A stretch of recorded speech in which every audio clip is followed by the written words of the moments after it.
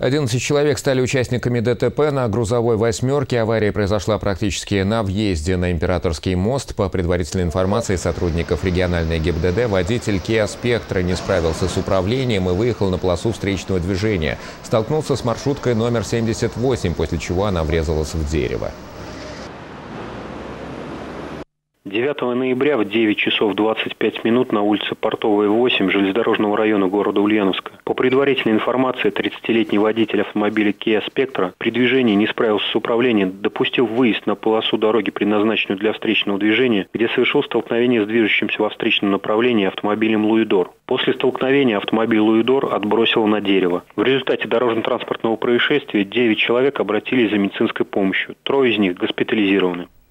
Пострадал пассажир автомобиля Kia Spectra. Он не был пристегнут ремнем безопасности и пробил головой лобовое стекло. С тяжелыми травмами его и автовладельца госпитализировали. Пострадал и водитель маршрутки. И ему госпитализация не потребовалась. Сейчас идет следствие. Эксперты точно установят, кто стал виновником ДТП.